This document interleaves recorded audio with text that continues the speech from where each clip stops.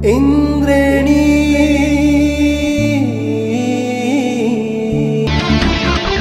आमा यहाँलाई स्वागत छ नमस्कार हजुरलाई धन्यवाद धेरै धेरै म इन्जिनियर हेर्छु सबै ठाउँमा दुःखी पीडितलाई कति सहयोग गर्नुभएको कति ठाउँ पुग्नु भएको म हजुरको धेरै हेर्छु हजुरलाई धेरै धेरै मेरो हृदयदेखि धन्यवाद छ मैले सानो सहयोग लिएर आएको छु मेरो श्रीमान बित्नु भएको उहाँको नाममा आज जन्मदिन हो उहाँको नाममा हजुरलाई यसो दुःखी पीडितलाई कति छन् दुःख पीडित पाएको हजुरले हेरेर दिनुहोला म यत्तिकै लागि हजुरलाई सानो हजुरको शुभ नाम? मेरो बिमला भण्डारी हो। घर कहाँ नि? पहिला घर नुवाकोट हो। अहिले चाहिँ काठमाडौँ नेपालटार त्यहाँ बस्छु। उहाँको नाम? नरबहादुर भण्डारी हो। यहाँ आएर यसो दिँदाखेरिमा उहाँको आत्माले शान्ति पाओस् दुःखी पीडितलाई हजुरले हेरेर दिनुहोला। नरबहादुर भण्डारीको आज जन्मदिन पनि उहाँको निधन भइसकेका छ। उहाँको आत्माको चिर शान्तिको कामना गर्दै विमला भण्डारी आमा सहयोग गर्न आउनुभएको छ। उहाँ जस्ता मनकारी मनहरूलाई धेरै धन्यवाद। चालिस हजार क कसलाई दिने आमा? हजुरले अब कति कति को कोलाई दुःखी पीडित धेरै कति कति हुन्छ हजुरकै विचारले दिनुहोला।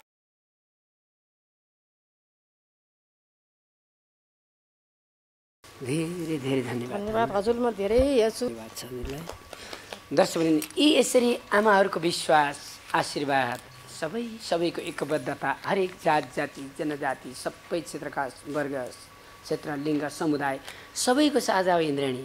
आज हामीले निरन्तर सबैलाई उत्तिकै सम्मान गरेका छौँ। दर्शकवृन्द नमस्कार। तपाईँ हुनुहुन्छ कार्यक्रम इन्द्रेणीमा। संसारभरिबाट इन्द्रेणी हेर्नु भएको छ। सेवा सन्देश र मनोरञ्जन। इन्द्रेणी दर्जनौँ वर्ष निरन्तर अगाडि बढेको छ। अनेकौँ सुख दुःख आरोह अवरोहका बिचमा पनि हामी अगाडि बढिरहेका छौँ। तपाईँ सबैको उत्तिकै माया स्नेह र साथले यो कार्यक्रम इन्द्रेणी अगाडि बढेको छ। जो जोले सपोर्ट गर्नुभएको छ। तपाईँहरूलाई धेरै धन्यवाद। जो जोले यसलाई हेरिसक्नु भएको छैन। मानस पटलसम्म पनि पुगोस्। इन्द्रेणी कार्यक्रम तपाईँको अगाडिसम्म पनि पुगोस्। मेरो यही छ कामना। सबैले सेयर लाइक कमेन्ट र सब्सक्राइब गरिदिनु होला। कार्यक्रम इन्द्राणीलाई यतिखेर हामी कार्यक्रम इन्द्राणीमा एउटा अलिक फरक परिस्थितिमा छौँ। यो हप्ता म झन्डै नौ दिनको पूर्वाञ्चल यात्रा मित्र रमेश परसाईको विवाहको निम्तोमा हामी पूर्व यात्रामा थियौँ। हामीले अन्तिम कार्यक्रम नेपाली लोकबाजा सङ्ग्रहालयको कार्यालय त्रिपुरेश्वरबाट छायाङ्कन गरेका थियौँ। नेपाली लोकबाजा सङ्ग्रहालयलाई रामप्रसाद कणेलले सञ्चालन गरेर अहो रात्र खटेर त्यति धेरै मेहनतका साथ त्यो ठाउँमा पुर्याउनु भयो अहिले त्यो ठाउँबाट उहाँहरू निस्कनु पर्ने अवस्था भएपछि संरक्षण गर्नुपर्ने चिज किन व्यवस्था गरियो यही कुरा हामी राख्न गएका थियौँ। त्यही श्रृङ्खलामा रहेको अन्तिम अन्तिमको झन्डै एक मिनट जतिको बोलीलाई अथवा एक मिनट जतिको कार्यक्रमको श्रृङ्खलालाई काटेर टिकटक ट्रोल लगायतका अनगिन्ती ती प्रचार गरेर त्यत्रो कार्यक्रमको सार तत्त्व के थियो हामीले नेपाली बाजागाजाको बारेमा के भनिरहेका थियौँ? हाम्रो बस कता थियो? त्यो कति पनि प्रवाह नगरेर कुन नियत भएका साथीहरूले हो तलबाट काटेर हाम्रा असल असल शुभचिन्तककोमा त्यो पुर्याइदिनु भयो। सारा सबैले इन्द्रेणीमा टिका सानु र कृष्ण कणेल बिचमा विवाद अथवा इन्द्रेणीमै विवाद भयो। टिका साउनलाई त इन्द्रेणीबाट निकालियो अथवा टिका साउनले छाडिन् अथवा इन्द्रेणी त डामा डोल भद्रगोल अवस्थामा यस्तो भनेको कुरा नै प्रचार प्रचारमा आयो। त्यो मात्र होइन इन्द्रेणले बाल शोषण गरिदियो। इन्द्रेणले कलाकारलाई रोयल्टीको लागिमा समस्याहरू लगायतका अनगिन्ती मुद्दाहरू यहाँ छरलचिष्ट नौ दिनसम्म धेरै भएछन्। उहीँ अनगिन्ती समाचारहरू सुन्यौँ दुःख लाग्यो। जब लकडाउन भयो लकडाउन भएपछि हामीले सुचारू रूपमा स्टुडियोमा कार्यक्रम गर्न पाएनौँ टेलिभिजनमा पनि कोरोनाका कारणले हामी भित्र पस्न पाएनौँ अर्को ठाउँमा गयौँ। अर्को ठाउँमा पनि त्यस्तै भयो अरूले कोरोना आउँछ भनेर हामीलाई त्यहाँ पनि बस्न दिनु भएन। अनगिन्ती समस्या थिए मसँग तनाव पनि थिए। टिका बहिनीले दाई आज म बोल्छु भन्नुभयो। उहाँले बोलेको त्यति मलाई लाग्छ यत्रो मुद्दै बनाउनु पर्ने र टिका बहिनीलाई गाली गर्नुपर्ने जस्तो मलाई लाग्दैन। त्यही मैले इन्द्राणी हेरेको थिइनँ यति भन्नुभयो। अनि कलाकार र इन्द्राणी भनेको बराबर त हो नि भनेर त्यही भन्नुभएको थियो। त्यही कुरालाई ट्रोल बनाएर कार्टुन बनाएर सबैले कहिल्यै जिन्दगीमा सेयर नगर्ने मान्छेले पनि हाम्रा खाटी शुभचिन्तकका शीर्षक अनेक अनेक राख्थे र रमेश परसाई र कल्पना दालको बिहे भनेर यसरी अनर्गल प्रचार भएको थियो यहाँ एक दिन गीत गाएको भरमा त्यस यस्तै खालको गरेर प्रचार प्रचार भएछ। धेरै धेरै शुभचिन्तकले लाखौँ लाखले मलाई प्रत्यक्ष फोन गर्नुभयो के हो कुरा? मैले भने थाहा नै छैन। अनि बहिनी टिका बहिनीले मलाई फोन गर्नुभयो काठमाडौँबाट। कृष्ण दाई यस्तो यस्तो आएछ हेर्नुहोस् त तपाईँ फेसबुकमा लाइभमा आउनु पऱ्यो भन्नुभयो म तिन दिनसम्म व्यस्तै भएँ।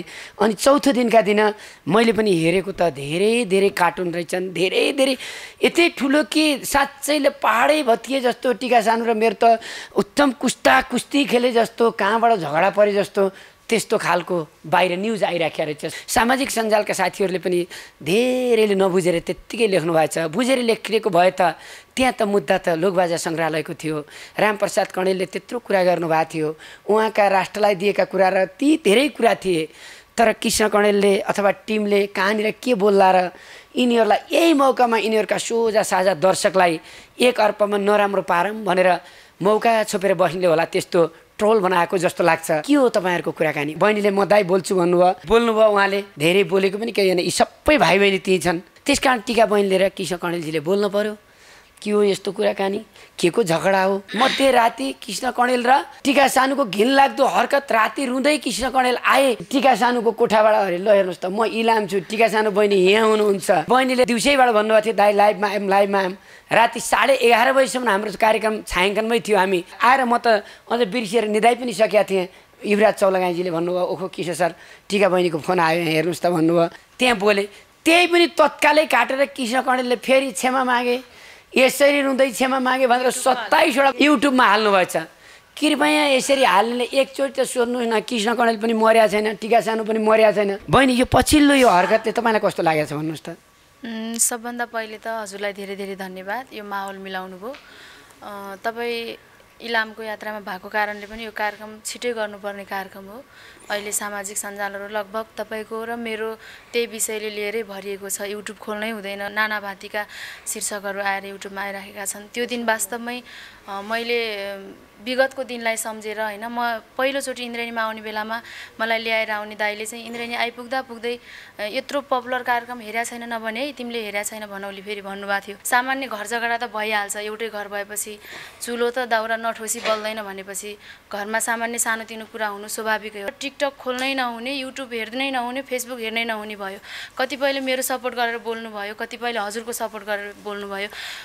एकदमै घिनलाग्दा कमेन्टहरू आए मलाई साठी पर्सेन्टले गाली गर्नुभयो सत्तरी पर्सेन्टले गाली गर्नुभयो भने तिस पर्सेन्ट बिस पर्सेन्टले इन्द्रेणी कार्यक्रमलाई नै नराम्रो खोट लगाउनु भयो त्यो देख्दाखेरि मेरो मन एकदमै छिया छिया भयो। पहिला पहिला सानो सानो कुराले पनि एकदमै चित्त दुख्थ्यो एकदमै रुन्थ्यो। तर यसपालि म एकदमै कठोर भएर बसेँ। तर मेरो घरमा आमा दिदीहरू चाहिँ एकदमै आत्तिनु भयो तपाईँले फोन गरौँ दाई भन्नुभयो अनि त्यहाँबाट कस्तो खालको मलाई पछाडि आयो भने। केही यदि हामीबाट गल्ती बाबा दर्शकलाई भन्दाखेरि क्षमा प्रार्थी छौँ भनेको त्यति ट्रोल बनाएछन् कि तपाईँले फेरि डिलिट गर्नुभएछ त्यो फेसबुक नै। कतिपयले सोच्नु भएको रहेछ हिजो अस्ति एकजना कलाकार दाइले पनि भन्नुभयो कृष्ण गणेलले डिलिट गर्न लाएर गरे कि हो? भनेर सोध्नुभयो। त्यो चाहिँ होइन किनकि म लाइभ बस्दा बस्दै त्यहाँनिर आठ हजार दस हजारजनाले हेर्नुभयो भने जतिले हेर्नुभयो त्यो त्यति नै कमेन्टहरू आए तर नराम्रो धेरै कमेन्टहरू आइसकेपछि मैले मेरो वालमा त्यो लाइभ राख्न चाहिनँ त्यस कारणले मैले तुरुन्तै डिलिट गरेँ। मैले चाहिँ के चाहेर पनि लाइभमा बोलाएको भने कमसेकम मेरो फेसबुकमा रहने मेरो आफन्ती इष्टमित्रहरू त नआत्तियोस् न। कृष्ण कडेल र टिका बिचमा त्यस्तो केही पनि नराम्रो छैन भनेर नआत्तियोस् मेरो आफन्तीहरू विचलित नहोस् भनेर मैले त्यो लाइभमा आउन अनुरोध गरेको थिएँ। र आइसकेपछि सबैलाई थाहा भइसकेपछि त किन राख्न जरुरी छ र भनेर मैले फालेँ। तर मैले फाल्नुभन्दा पहिले नै दुई सय त्रिसठीजनाले सेयर गरिसक्नु भएको थियो। र त्यही सेयरबाट फेरि युट्युबमा तिनै तिनै कुराहरू राखेर टिका सानु र कृष्ण कडेलको गोप्य अडियो भाइरल रे। अनि उहाँहरूको अब के हो के हो त्यो शीर्षक त गनिसाध्य छैन। मैले हिजो अस्ति बेलुका कति रहेछ त भनेर हेरेको दुई सय बाहन्नवटा भिडियो चाहिँ मैले गरेँ। त्यस पछाडि चाहिँ मलाई झ्याउ लाग्यो गर्नै मन लागेन। अनि त्यस पछाडि चाहिँ गरेन तर म्याक्सिमम् भिडियोहरू सानो सानो कुराहरूलाई लिएर एकदमै सानो सानो गर्नुभएको छ। र कतिपयले टिकटकमा पहिले चाहिँ इन्द्राणी हेर्थेँ गाउँमा कहिलेकाहीँ भन्ने अहिले चाहिँ हेर्थेन मैले भन्ने भनेर भन्नुभएको छ। त्यो चाहिँ मैले त्यही कुरा त्यहाँ जोड्न चाहेको थिएँ कि। पुरानो दिनलाई मैले सम्झिन चाहेको थिएँ। क प्रकाश दाइले मलाई इन्द्रेणीमा लाने बेलामा आउने बेलामा यति पपुलर कार्यक्रम पनि हेरेको थिएनौ भनेर भन्नुभयो मैले। भने दाइ हाम्रो घरमा टिभी थिएन युट्युबको भर्खर त आइरहेछ। मैले हेरेको थिएन। यत्रो पपुलर कार्यक्रम पनि हेरेको थिएन भनौले फेरि त्यहाँ। अब लाज हुन्छ भनेर भन्नुभएपछि हेरेको छु भन ल भनेपछि मैले हुन्छ भनेर मैले त्यो भनेको थिएँ। अहिले जति पनि सामाजिक सञ्जालमा म सबभन्दा पहिले अहिले त मेरो आफन्तीहरू कहिल्यै फोन नगर्ने मेरो अङ्कल आन्टीहरू इन्डियामा हुनुहुन्छ। उहाँहरू अनि ठुल्बुवाहरू मेरो फुपूहरू फुपूका छोरीहरू कहिल्यै पनि नसम्झिने मान्छेहरूले पनि मलाई फोन गरेर के भयो कस्तो भयो भनेर भन्नुभयो। त्यो चाहिँ मलाई एकदमै एकदमै नराम्रो लागेको छ। मेरो सबै आफन्तीहरू विचलित हुनुहुन्छ। सबैलाई विचलित नहुनु हुन धेरै धेरै अनुरोध गर्न चाहन्छु। मैले त यति भन्छु कि कृपया मैले अभिभावकत्व गरेको इन्द्राणीको भाइ बहिनीलाई सायद भगवान्ले माथि देखिराखेका छन् भने मैले अन्याय कहिल्यै गरेको छैन तर आफ्नो मान्छेलाई गाली त गर्नुपर्छ। हामी त इन्द्राणी हो नि कतिले त इन्द्राणीले कमायो भनेर यही बेलामा यति गर्नुभएको छ कि हामीले गीतै गाउन नपाउने अर्काका भने पनि हामी तयार छौँ। पुराना पुस्ताका गीत हामीले गाएनौँ भने पुराना गएका पुस्ताका हामीले गीत गाइदिएनौँ भने ती गीत मरेर जाँदैनन् अर्काले त चोरेर उस्ताको उस्तै गाइदिनु भएको छ त कसले आज विरोध गर्न हँ? त्यस कारण हामीले बालबच्चालाई कृष्ण कणेलले बाल शोषण गर्यो भनेर ओहो! दिग्गज दिग्गज कलाकारहरूले त्यस्तो कुरामा सेयर र पोस्ट गरेको देख्दा मलाई यति दुःख लागेको छ। इन्द्राणी हो कसैको एक रुपियाँ पनि नलिएर सुरु सुरु आउँदा यत्रो म्युजिसियन बिहान दस बजीबाट सुरु भयो भने राति बाह्र एक बजे यहाँ कलाकारहरू आउनुहुन्छ। त्यत्रो कलाकारहरूलाई ठाउँ दिएन भने त्यति बिरामी त्यति आउनुहुन्छ।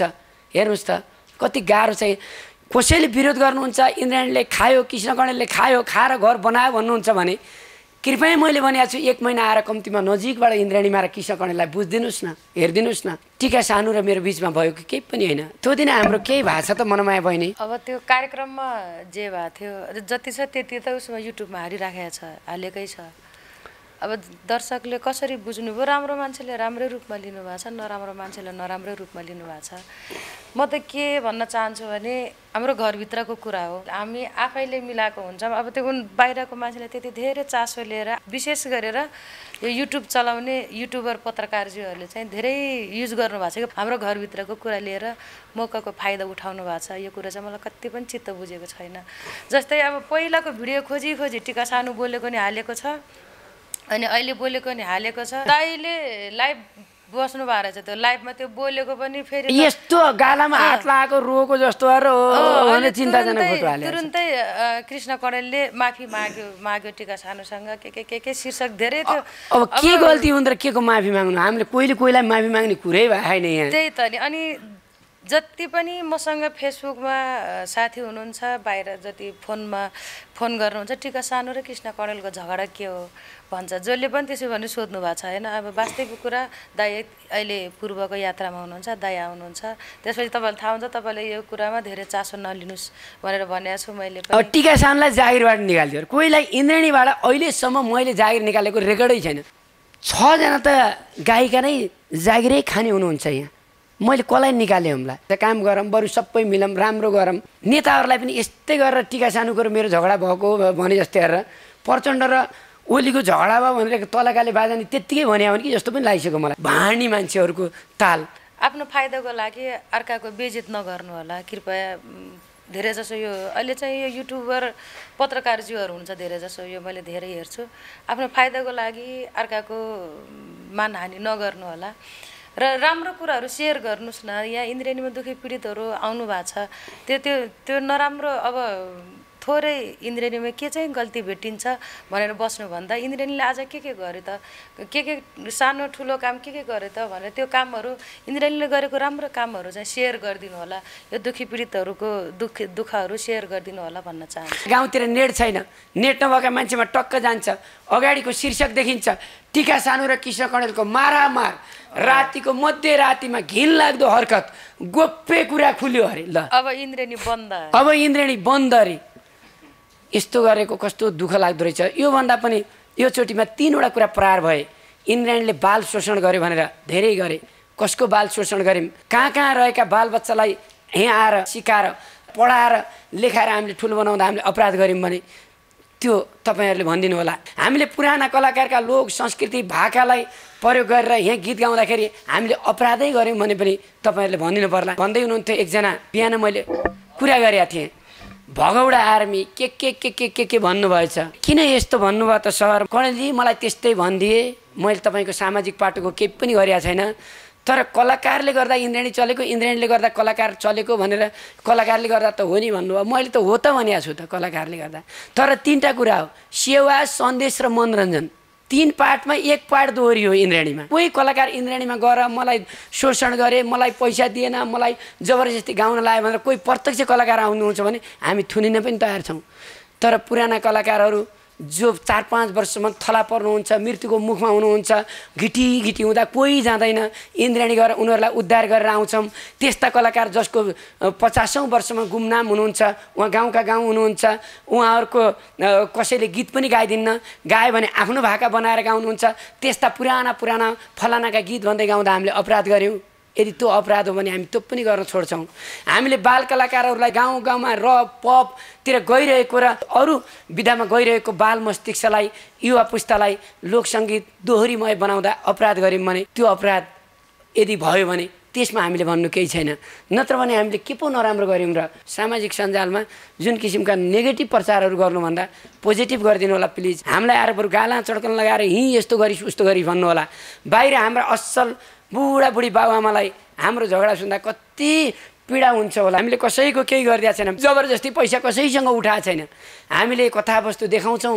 उहाँहरूले भन्नुहुन्छ जस्ताको तस्तै पैसा दिन्छौँ। यदि कसैलाई शङ्का लाग्छ खाएछन् भन्नुहुन्छ भने आएर हेर्नुहोस् हाम्रो खुलस्त छ। एक एक हेर्नुहुन्छ भने हामी जस्ताको तस्तै देखाइदिन्छौँ। कोही साथीहरूले जनजातिलाई हेपो दलितलाई हेपो भन्नुहुन्छ। इन्द्राणीले कहिले दलित जनजाति के के भनिएको छ? सबैलाई उत्तिकै सम्मान छ। हामीले सबैले पठाउनेलाई धन्यवाद दिएकै छौँ। भाइ यो जुन किसिमको कुरा आइराखेको छ तपाईँलाई कस्तो लागेको छ? यत्रो इस्यु बनाउनु पर्ने कुरै थिएन त्यहाँमा। सबै प्रसङ्ग मान्छेले नबुझिकन नहेरिकन जो बिचको एउटा ट्रोल जो त्यहाँ छ यत्रो तपाईँले हेर्नु नै भएको थिएन। भन्ने र उसले दाइ मैले हेरेको थिइनँ। र त्यो त्यति मात्रै काटेर हालिदिनु भयो। मान्छेहरूले ट्रोल बनाइदिनु भयो। अनि त्यस बिचमा आफै हामी आफैलाई पनि के छ भने हामीलाई हाम्रो विषयमा त घरभित्रको कुरा त हामीलाई थाहा छ। तर हामीभन्दा बढी जान्ने बाहिरको अब यी मिडियाहरू भएर उहाँहरूले त्यस्तो गरिदिनु भएको छ। मिडियाहरूलाई अहिले यो कमाइ खाने एउटा भाँडो जस्तो भयो कि यो यो विषय। मुद्दा फरक थियो। एउटा लोकबाजा सङ्ग्रहालयको कुरा थियो त्यसलाई सेयर गरिदिन पर्थ्यो। त्यो पनि छैन। पछि अब सबैले त्यस्तो त्यस्तो बनाएर अब गाली गरेका छन्। अब राम्रो चिजको खोज्नु भएको छैन। मैले मिडियाकर्मी साथीहरूलाई सबलाई भन्छु यो विषय एकचोटि कृष्ण कणेल र टिका सानलाई त फोन गर्न सक्छन् नि। बाहिर इन्टरभ्यू गराउनु भएको छ। अहिले धेरै मान्छेहरूले ल्याएर त्यो इन्टरभ्यू गराउने मान्छेलाई विशेष के कुरा हो त्यो त इन्द्रेणीलाई भनेर त्यो बाहिर गराउने होला नि त। अब बाहिर अब नबुझिकनै बोलिदिनु भएको छ कोहीले केही गरिदिनु भएको छ। सात हजार बिरामी छ हाम्रो इन्द्रेणीमा। अहिले पनि लाइन छ सात हजार बिरामीको एक दिनमा एउटा बिरामीको मुद्दा उठाउँदाखेरि सात हजार बिरामीको पालो कहिले आउने भन्ने कुरा त बिरामीले पनि सोच्नु पर्छ सात हजारको मान्छेले जसको मुद्दा उठ्यो उसले चाहिँ इन्द्रेणी त ठिक रहेछ उसले भनिदिन्छ। जो सात हजार मान्छेको पछाडि पछाडि कुरिरहेको हुनुहुन्छ उहाँले के भन्नुहुन्छ? अरूका कुरा सुन्दो रहेछ तर हाम्रा सुन्दैन रहेछ इन्द्रेणीले भन्ने कति बिरामी पनि दुःख छ। सबैलाई सक्ने अवस्था पनि छैन त्यही भएर जति सक्दो रात दिन गरेर खटिरहेको छ इन्द्रेणी तर मलाई के लाग्छ भने हिजो कुनै बेला कृष्ण कणेलले स्थापना गरेर डिजाइन बनाएर बनाएको कार्यक्रम हो यो भने आज सब दर्शक श्रोताहरूको कार्यक्रम भइसकेको छ यो। सबैको चित्त बुझाउन सकिन्छ भन्ने छैन। जो कि आफूले गरेको तपाईँको डिजाइन छ त्यो डिजाइनमा हो। सानोतिनो कुराको पछाडि पनि हाम्रो कृष्ण दाले टेन्सन लिनु हुने छैन। यो तपाईँले सानो कुरामा टेन्सन लिनुभयो भने यो ठुलो हाम्रो समाजलाई नै क्षति हुनेछ। इन्द्रणी जस्तै नेपालमा चारवटा कार्यक्रम भइदिएको भए सायद नेपाली जनता अझै सुखी हुन्थ्यो होला। अहिले अब नेपाल सरकारले दिन नसकेको काम यतिसम्म इन्द्रणीले गरेका छ। कृष्ण दाईले यति धेरै गर्नुभएको छ। हामी सबै अपराध खटिया छौँ। सानो कुरालाई अनर्थ नसोचिदिनु होला। यो टिका सानो र कृष्ण दाईको बिचमा हाम्रो इन्द्रणीको बिचमा केही पनि यो थिएन। यो बाहिर त्यत्तिकै बनाएको हो। सबैले हल्ला फिजाइदिनु भयो। टिका सानो अहिले पनि इन्द्रणीबाटै खुसी छन्। इन्द्रणीभित्र आएका जो हामी जस्ता कलाकारहरू छौँ हामी गर्व गरेर भन्न सक्छौँ हामीलाई इन्द्रणीले चलाएको हो। जसले सहयोग गरेका छ त्यो मान्छेले कहिले पनि बाहिर कुरा काटेका छैन। जसले इन्द्रणी मार्फत दुखी बिरामीलाई एक रुपियाँ सहयोग गरे होइन त्यसैले बढी कुरा काटिरहेछ जस्तो लाग्छ मलाई। हामी सेवामा अवरत र खटिनेछौँ हाम्रा शुभचिन्तकहरूलाई नआतिन अनुरोध गर्छु। दर्शकवृन्द वास्तवमा आज निरन्तर इन्द्रणी आएको छ। यो कहिल्यै मर्दैन। टिका बहिनी जुन हामीले भनिराख्यौँ नि हजुर। तपाईँलाई एकदम तनाव भयो। त्यतिखेर एउटा अभिभावकले बोल्ने कुरा थिएन त मैले। दुनियाँलाई बचाउँछु भन्दा बहिनीलाई रातिमा लाइभमा आउनु मेरो गल्ती थियो त। होइन त्यो त अब मैले भनिहालेँ नि अघि पनि यो विषय यत्रो होला भनेर मैले कल्पना पनि गरेको थिइनँ सपनामा पनि सोचेको थिइनँ। आखिर भइपरि आयो भोग्नै पर्यो होइन? र त्यो दिन पनि मलाई असाध्यै तनाव भएर जता हेर्छु त्यो बोल्नै नसकिने शब्दहरू होइन? अब आमालाई गाली दिएर बाउलाई गाली दिएर मेरा दिदीबहिनीलाई। गाली दिएर मेरो थर जातिसँग सम्बन्ध राखेर आज मैले आफ्नै टिमबाट आफ्नै घरबाट यो कुराहरू प्रष्ट पारिरहेको छु। मेरो मनमा इन्द्रेणीप्रति केही फाइदा उठाउनु छ भन्ने पनि छैन। इन्द्रेणीप्रति मैले केही नराम्रो खोट लाउनु छ भन्ने पनि छैन। मलाई इन्द्रेणीप्रति कुनै चित्त दुखाइ पनि छैन। आजको दिनसम्म जतिले न्युज बनाउनु भयो बनाइसक्नुभयो। अब आइन्दादेखि फेरि कृष्ण कणेल र टिका सानु मिले यहाँ त्यहाँ भनेर चाहिँ न्युजहरू नबनाइदिनु होला युट्युबमा अपलोड नगरिदिनु होला भन्न चाहन्छु। फेरि नराम्रो नराम्रो न्युजहरू नबनाइदिनुहोस् नराम्रो नराम्रो टाइटलहरू नलेखिदिनुहोस्। एकजना साथी आउनु भएको छ उहाँको नाम मैले केही सोधेको छैन।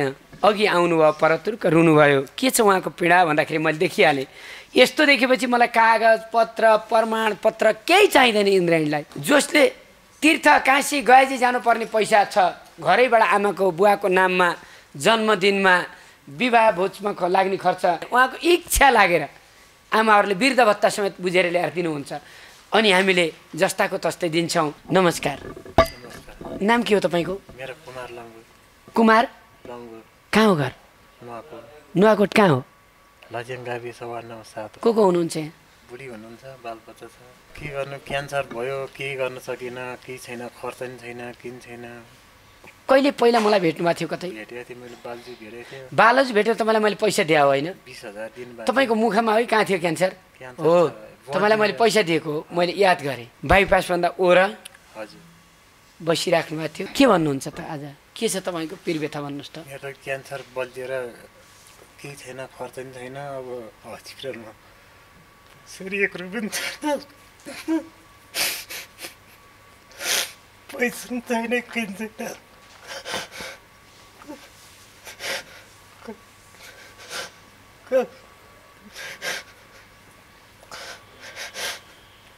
भएको पैसा त सकिहाल्यो छैन क्यान्सर गर्दा केही छैन घर खेती एउटा घर एउटा छ के खाने छोराछोरी कति छन् दुइटा छ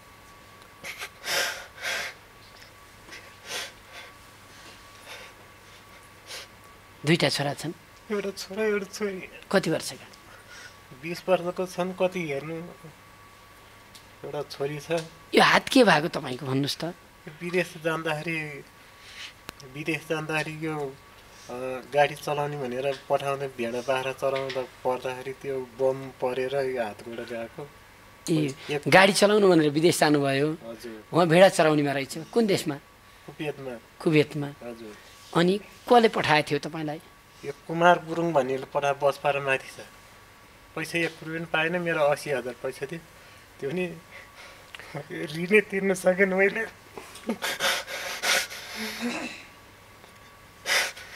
अनि कुमार गुरुङलाई केही भन्नु भएन? मलाई उल्टै पुलिस बोलाएर उल्टै धम्की दियो मैले किन पाएन? तपाईँ तामाङ हो। हजुर। तपाईँ तामाङ हो। हजुर। अनि मैले विदेशमा गएर केही नि पाइनँ यहाँ आएर नि केही गर्नु सकिनँ। अफङ भयो एउटा छोरा एउटा छोरी छ केही छैन। घरमा भएको जिम्मै छ उल्टो पुलिस किन बोलायो भन्नुहोस् त। खोइ अब मेन पावर नै देखाएन। कागज पत्र सबै थियो त्यो नि दम्बट गरे। मलाई केही नि रात नि पाएन। पाँच लाख रुपियाँ पैसा पाउँ बिमा गरेँ पाँच लाख रुपियाँ पैसा तिर्छ मलाई चाहिन्छ आधी नभए हुँदैन भन्ने आ गर्नुहोस् त खै? फेरि बल्झ्यो हाइट